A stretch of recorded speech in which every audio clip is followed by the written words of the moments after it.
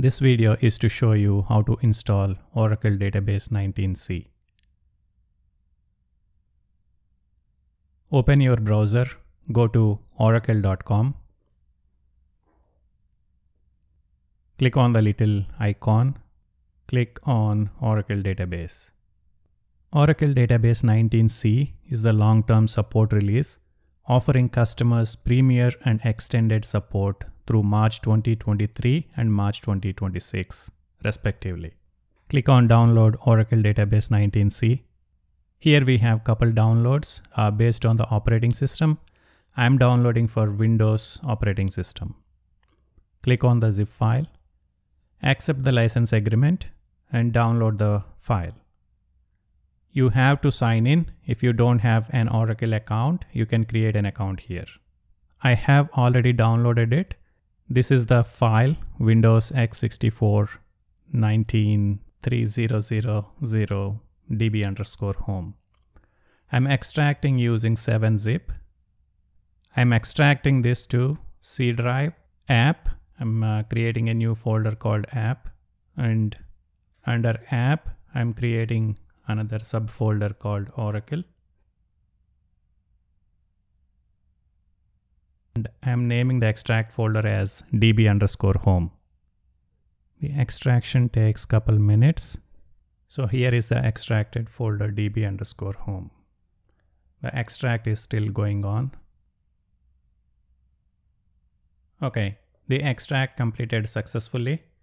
If you go to this folder db underscore home, Scroll to the bottom, right click on the setup file and run as administrator. You have to run as administrator, otherwise you cannot install the software. Here are the configuration options. We will configure one by one. The first option is the database installation options. Under that we have two options to select.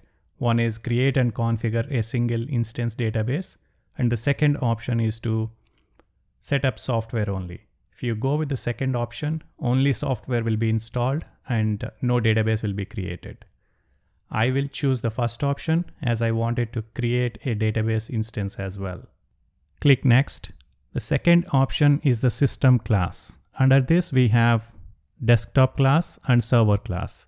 If you go with the server class, you have more options uh, to configure like data files, table spaces, memory properties, and how many instances we want, the instance name, and so on. If you go with the desktop class, everything will be default. I'm choosing the desktop class and clicking next. The next option is the Oracle Home User. This user is used to control Oracle services. Oracle itself is recommending to you to choose virtual account or specify a standard Windows user account for this purpose. I'll go with the use virtual account. Click next. The next option is the typical installation. Under this you have you have some properties to specify. The first one is the Oracle base where you wanted to install. The next one is the software location. This is where we started our installation from. We cannot change this. And the next one is the database file location. And I want to leave that as default under C, App, Oracle, Oradata. Database edition, Enterprise edition, I'll leave that as default. Character set, I'll leave it as Unicode. And global database name, I'll leave the name as default and I'm specifying the password here, which will be the administrator password, that is for sys user.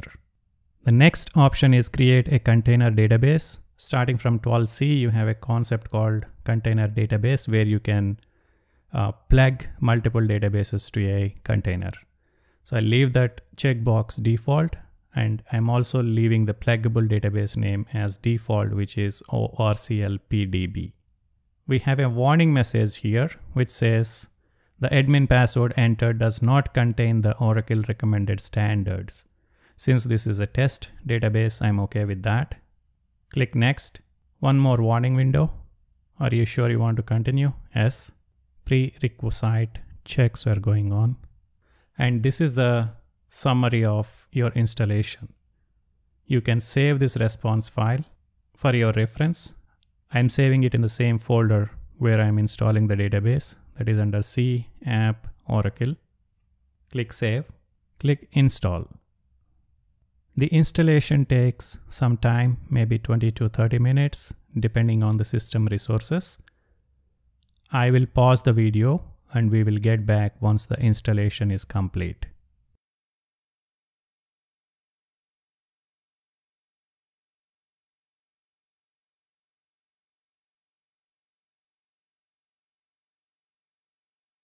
The installation completed successfully.